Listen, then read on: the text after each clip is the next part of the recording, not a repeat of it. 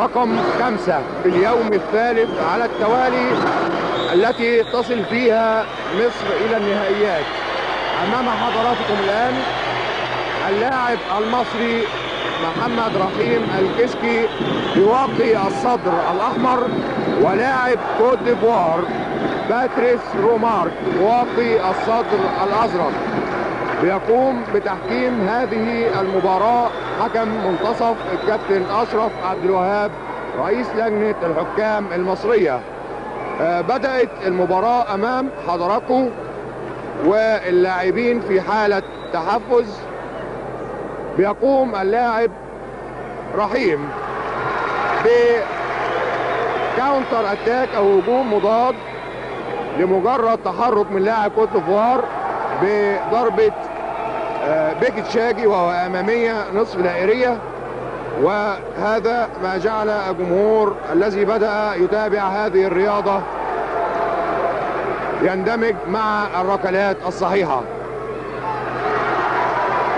آه، من الواضح إن لاعب آه، كوت ديفوار لاعب قوي جدا ومن أول ما البطولة ابتدت من أول امبارح أقوى مباراتين هنتفرج عليهم هما المباراتين دول لأن اللاعبين كل منهما حقق مراكز عالمية وكل منهما له خبرة في الملاعب. آه، اللاعبين وقعوا دي ما فيهاش اي حاجة طالما انها غير متعمدة من احداهما. الحكم بيطلب وقت مستقطع لأن في آه، شبه آه، التواء في القدم اليمنى للاعب كوت ديفوار اللاعب باتريس رومار هذه المباراة من الصعوبة بمكان لأن مع لعيبة حاصلين على مراكز عالمية وكل منهما يعلم الآخر تماما. وبالإضافة إلى ذلك أنهم يصفوا على ميدالية ذهبية لدولتهم تحتسب ضمن البطولة كلها. اللاعبين في حالة تحفز آه رحيم بيحاول يعمل اتاك ضربة النار تشيكي. اللي هي من أعلى لأسفل ولكن اللاعب آه رومارك قام بصدها بيده.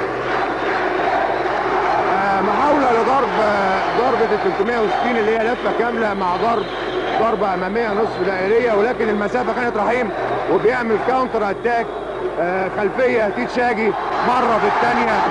آه لاعب المصري حصل على نص نقطة لأنه كان مسك أو حضن لاعب كوت ديفوار.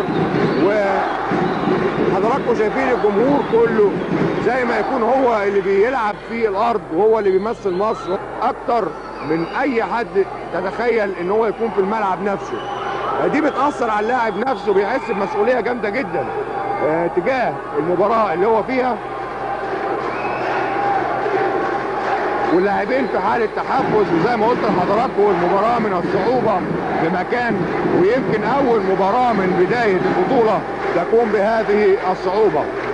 آه، اللاعب آه، رومارك حاصل على ميدالية فضية وميدالية ذهبية قبل كده في بطولات عالم. ولاعب يعتبر من أحسن لاعبي كوت ديفوار واللاعب رحيم الكشكي من اللاعبين المهنكين وحضراتكم شفتوا الهجوم اللي فات ده؟ هجوم وهجوم مضاد في نفس الثانية لأن كل لاعب متحفز للآخر تماما ويعلم إن ممكن ثانية واحدة تطير منه نقطة وانتهت الجولة الأولى. وبالنسبة لإنذار النص نقطة اللي اتحسب على لاعب مصر ده في القانون الجديد لا يحتسب إلا بعد آه، توقيع عقوبة نصف نقطة تانية عليه. آه لغاية دلوقتي بيعتبر ده الوزن الخامس اللي بيتلعب في هذه البطولة. بيتبقى وزنين بكرة إن شاء الله ووزن السادس هيتلعب النهارده بعد هذه المباراة. حصلت مصر في آه الأوزان الأربعة اللي فاتت على ثلاث ميداليات ذهبية. والنهاردة إن شاء الله إن شاء الله بتصفي على اثنين منها المباراة اللي قدام حضراتكم والمباراة اللي هنشوفها بتاعت اللاعب خالد الحناوي وكان النهارده انسحب لاعب كينيا. فوستين ماكوكا من قدام اللاعب رحيم الكشكي آه، قبل آه، بعد أداء التحيه وقبل أداء المباراة آه، انسحب لاعب كينيا وكانت مفاجأة للجميع. وأنا شايف نقطة اتحسبت لمصر وأعتقد إن هو الهجوم اللي كان مزدوج منهم هما الاثنين أما قلت لحضراتكم إن الاثنين مفيش فرصة ضيعوها النتيجة قدام حضراتكم احتساب نقطة للاعب مصر. وخصم نص نقطة عليه ولا تحتسب فيعتبر إن هو حاصل على نقطة كاملة. آه، اللاعب رحيم في حالة تحفظ حضراتكم شايفين التركيز اللي في وش اللاعب. دلوقتي هجوم وهجوم مضاد وعملية ضرب بالأيدي في وقت مستقطع. مدرب لاعب كوت ديفوار طلب وقت مستقطع. وأنا شايف إن واقي الصدر بتاعه مفكوك وبيتعين على حكم المنتصف. استقطاع هذا الوقت ولا يحتسب من فترة الثلاث الثلاث دقائق لكل جولة. وحضراتكم طبعا عارفين من متابعتكم لينا في اليومين السابقين آه إن لاعب بيلعب ثلاث جولات كل جولة ثلاث دقائق وبينهما دقيقة راحة. آه لاعب رحيم الكشكي بيلعب آه آه تكنيك فني عالي شوية إن هو بيبتدي آه يضرب بالشمال ضربة غير قوية ويكون هدفه الثاني هو الضرب بضرب ضرب القدم اليمنى. هجوم متواصل بين اللاعبين بالرفصات واللكمات وأعتقد إن في آه، لكمة في النص. جت في رقبه رحيم ودي المفروض إن هي خاطئة وممكن ان هو ياخد عليها نص نقطة لو حكم المنتصف شاف إن هي تستحق أو بالقوة اللي ممكن تأثر على اللاعب. اللاعبين في حالة تحفز ثاني وعشان حضراتكم تبقوا متابعينا في كيفية احتساب النقط النقطة عشان تتحسب عندنا ليها ثلاث شروط إن هي تتضرب بالمكان الصحيح اللي هي القدم بتاعت الرجل أو قبضة الإيد في المكان المصرح بيه اللي هو المكان الملون في واقي الصدر بالقدم أو باليد ومكان اللي هو لابس فيه واقي الرأس بمنطقة القدم فقط وممنوع الضرب فيها بالايد لحماية اللاعب. والسبب الثالث المهم والذي يختلف عليه في احتساب النقطة من عدمه هو قوة المؤثرة في الخصم. يعني لابد إن الخصم يتأثر من هذه الركلة أو الضربة باليد ويظهر هذا التأثير عليه لكي تحتسب. وهذا هو السبب الثالث الذي يختلف فيه الحكام من حيث تأثيرها من عدمه. إذا لم يتعمد اللاعب الوقوع على الأرض فلا تحتسب عليه إنذار وإذا لم يدفع فلا يحتسب إنذار على الخصم. ما زالت الجولة الثانية في وزن 76 كيلو جرام في بطولة التايكوندو الخامسة للتك... لبطولة أفريقيا الخامسة للتايكوندو. آه، قدام حضراتكم إحنا ملاحظين ان لاعب الركن الازرق اللي هو لاعب كوت ديفوار اللاعب رومارك آه، اشهر ضربة عنه اللي كررها دلوقتي كذا مرة من اول المباراة اللي هي آه، ضربة naeryeo chigi من اعلى لاسفل. وطبعا طالما تكررت بيبقى بين الجولتين الخبير المصري بيقول له ان انت على طول إيدك اليمين بتبقى جنب جسمك علشان تتفادى هذه الرصة وبتنتهي الجولة الثانية ويذهب كلا اللاعبين إلى الركن الخاص به لاتخاذ التعليمات للجولة الثالثة والفاصلة في هذه المباراة. بيقوم حكم المنتصف بإعطاء الأوراق الأربع لقاضي المنضدة الرئيسية.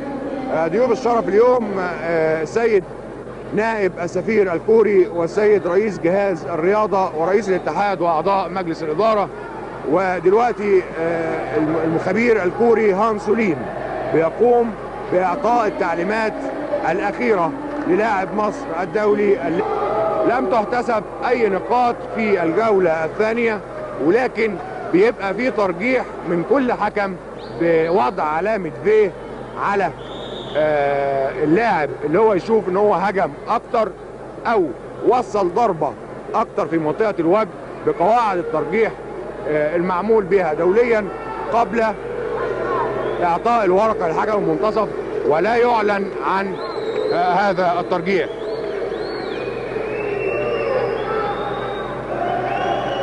تبدأ الآن الجولة الثالثة.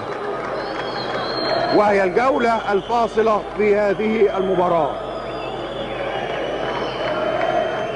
لاعب كوت ديفوار بيضرب ضربة جانبية ولاعب مصر بياخد counter attack هجوم مضاد آه، back step bit chagi اللي هي آه، خطوة للخلف مع ضرب ضربة اماميه نصف دائرية وهجوم متشابك بين الطرفين واحتمال الضربة اللي كنا بنشرحها يمكن احتسابها نقطة ولكن طبعا هسيب ده للحكام وزي ما قلت لحضراتكم أشهر ضربة للاعب الأزرق هي ضربة ال naeryeo chigi اللي هي من أعلى لاسفل ودايما هو بيكررها. وهتلاحظوا حضراتكم ذلك أثناء هذه الجولة.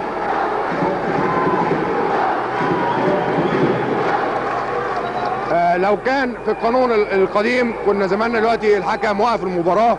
لكن القانون الجديد بيقول طالما إن يوجد قدم واحدة داخل الملعب بيستمر اللاعب في المباراة. اللاعبين في حالة تحفز والتركيز واضح عليهم آه، اللاعب كوت ديفوار بيضرب آه، سنده ولفه زي ما بيقول عليها بضربة خلفية ولكنها مش من القوة لدرجة إنها يمكن احتسابها. ولكن بتفيد في الترجيح في نهاية الجولة وشايفين اللاعب رحيم بيومأ براسه. نتيجة للضربة اللي هو خدها كهجوم مضاد مؤثرة في منطقة المسموح بيها في الهوجو الأزرق. وطبعا القرار للسادة الحكام. وأنا شايف إن في التحام وده آه، بيقصل آه، إن هو يستنى لاعب كوت ديفوار أثناء هجومه ويعمل عملية الهجوم المضاد. استؤنفت المباراة.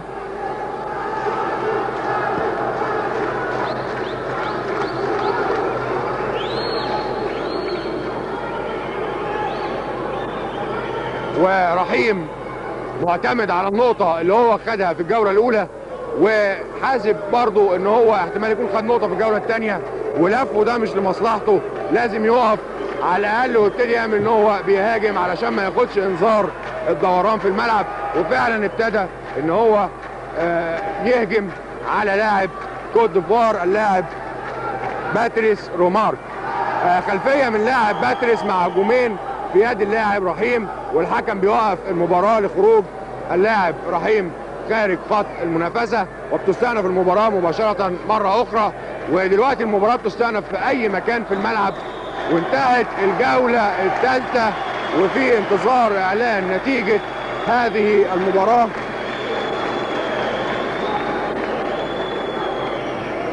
ومعانا آه، السيد العميد آه، مصطفى شحاتة معلق التايكوندو والحكم الدولي. وبنسأله يا كابتن مصطفى آه، من معرفة حضرتك السابقة للاعب محمد رحيم الكشكي.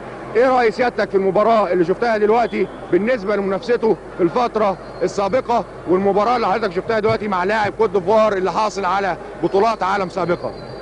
هي طبعا آه، مباراة قوية جدا جدا وأداها رحيم الكشكي بتميز في الأداء. أداها رحيم الكشكي بتميز في الأداء شديد والنتيجة بتعلن هو حصل في الجولة الثالثة زي ما أنا شايف على جولة ثانية ضافها نقطة ثانية أضافها لرصيده في النقط مقابل نقطة لباتريس من كوت ديفوار عشان يرتفع رصيد رحيم الكشكي إلى نقطتين إلى نقطة واحدة ليفوز ببطولة أفريقيا في آه، وزن آه، 70 76